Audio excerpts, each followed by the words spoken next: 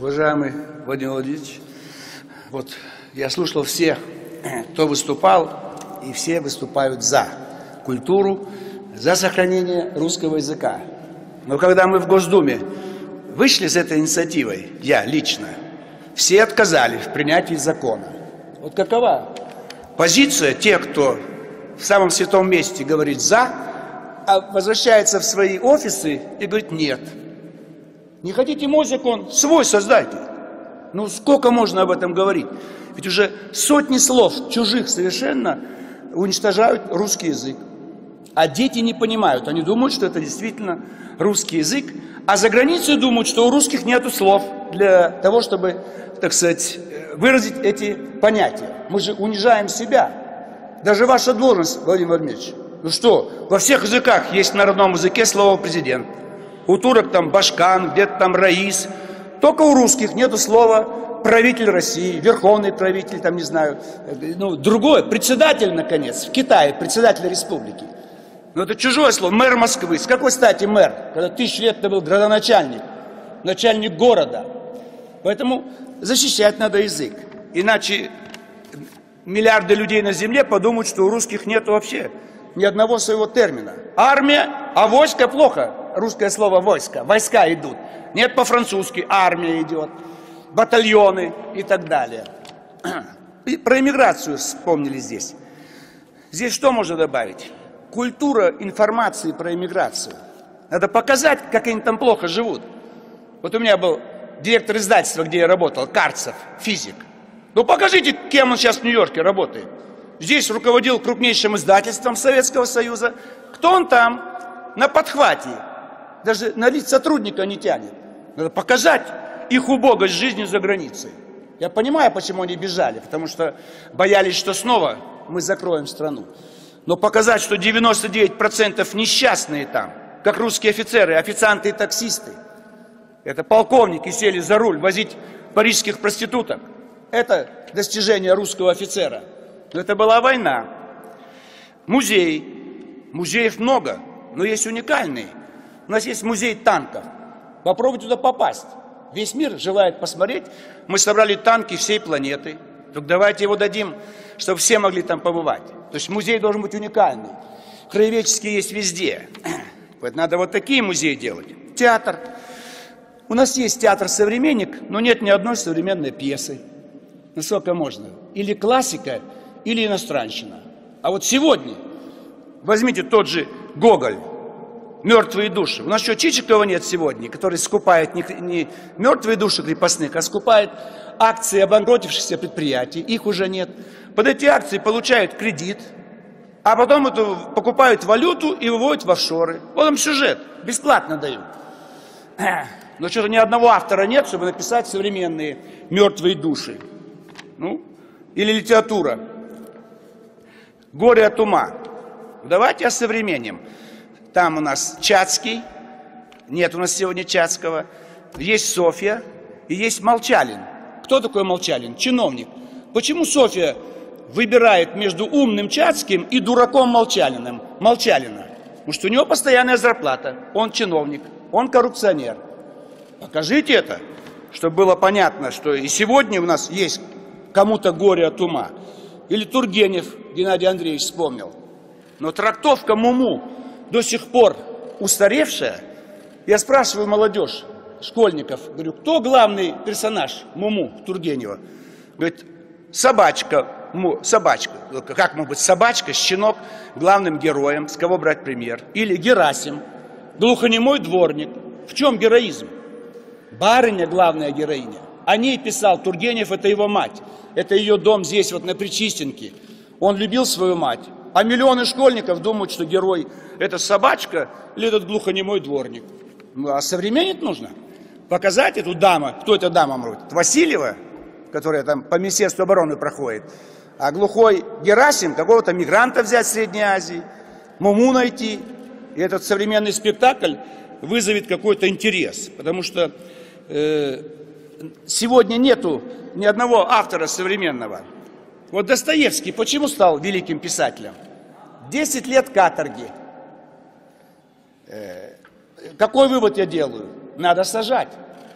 Если будут сидеть 3, 4, 5 лет, появится Достоевский, появится, значит, у нас Чайковский. Маяковского требует страна. Ну, у нас Вишневский, какие-то его шутки, прибаутки, э, двустишие. Ну, молодежь требует. Где он? Николая Рубцова нет, Есенина нет. Ну, ни одного нет поэта. Поэтому история искусств и культур вырабатывает или тюрьма, или сексуальное меньшинство. Мы и то, и то не используем сегодня. Поэтому нет сегодня ни одного великого деятеля культуры. Натурал, зажравшийся, сидит в Москве в шикарной квартире, творить не будет. Для творчества нужен толчок. Урод будет творить. Вот урод будет творить. Или в тюрьме стал уродом, или по своим каким-то вот, э, психологическим моментам. А народ требует, чтобы это звучало имя, чтобы это слово жгло. Какое слово сегодня жжет, так сказать? Все это у нас похоронные дела. Все это мертвые писатели, композиторы, поэты. А нужны современные. Еще открывать будем памятники, памятники. Вся страна, вся страна кладбище. А для населения, для вдохновления молодежь хочет живых, новых, с кого брать пример. Поэтому тяжело изучать литературу 19 век, 18 Нужны современные спектакли. Поэтому я, мой укор в адрес наших гуманитарных министерств. Хорошо работает Мединский, Ливанов, но вот им не хватает этого вот такого подхода, чтобы хотелось взять учебник русской литературы. Вот. Вот последний пример приведу, когда перегибы. Сейчас русский язык понизили планку, хотели 36 пунктов, уже 24, скоро вообще будет достаточно 3 пункта. Это значит двойка при советской власти. С двойкой по русскому языку мы им даем право дальше учиться.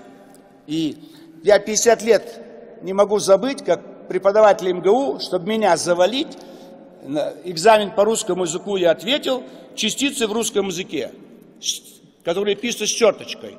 Кое, то, либо, нибудь таки. Чтобы меня завалить, спрашивают, какая из них может употребляться самостоятельно. Вот если все сидите, облеченные властью, и не знаете этого. А почему я 18 лет должен знать? То есть перекос. Зажать так молодежь. Так. Кое в одном месте у Пушкина есть. Кое вышел из лесу. Почему 18 лет юноша из провинции должен это знать? С советской власти перекос, слишком много вопросов. Сейчас никаких вопросов. Двоечник, тебе дают сертификат и пошел дальше. Поэтому проблемы есть. У нас э, культура самая великая, самая замечательная. Но не надо мешать депутатам принимать законы, которые бы защищали литературу и язык. Я закончил. Вот, э, э, как всегда, ярко выступил и Владимир э, значит, Жириновский. Ну, здесь не... Я почитал ваше. Спасибо вам большое. Вы вот, э, передали такую брошюрку по поводу того, как нужно говорить по-русски. И, и я поддерживаю то, что вы сказали. Нужно, конечно, избегать излишней, излишней латинизации нашего языка. Особенно вот сейчас обращаюсь к руководителям регионов. Знаете, иногда приезжаешь в какой-то город, сразу виден уровень, так сказать, э, культуры местного, местного чиновничества. Если на каждом углу у нас все названия различных учреждений, рекламы исключительно на, э, значит, латинскими буквами изображена. Ну, мы где, в какой стране живем-то? Э, Все хорошо в меру. Ну, так же, как, собственно говоря, и, и в использовании, э, в использовании различных терминов, слов и так далее. Ну, талант, вот вы предлагаете слово гений заменить на слово талант. Но мне кажется, это не одно и то же. Хотя вот у деятелей культуры надо спросить знатоков русского языка. Но первое. Второе, талант – это из Нового Завета, Завета, по-моему, слово, и, скорее всего, имеет происхождение, на, на происхождение на языка одного из семитских племен. Потому что талант – это и монета, и мера веса но из, поскольку из Нового Завета, видимо, вот оттуда, из семитских племен как нам досталось. Поэтому тоже не совсем как бы наше слово. Но потом метро, э, ну, можно поменять, конечно, на подземку, но французы же не меняют бистро на, на кафе просто. Ну, есть какие-то вещи устоявшиеся. Хотя в целом я считаю, что Владимир Вольфович прав, и нам нужно к этому посерьезнее относиться и повнимательнее. Так же, как э, нужно повнимательнее относиться и всем деятелям культуры к тому, чтобы э, именно Владимир Вольфович тоже об этом вспомнил, э, глаголом «жечь сердца людей», не просто денежки зарабатывать, а именно обращаться к сердцу человека.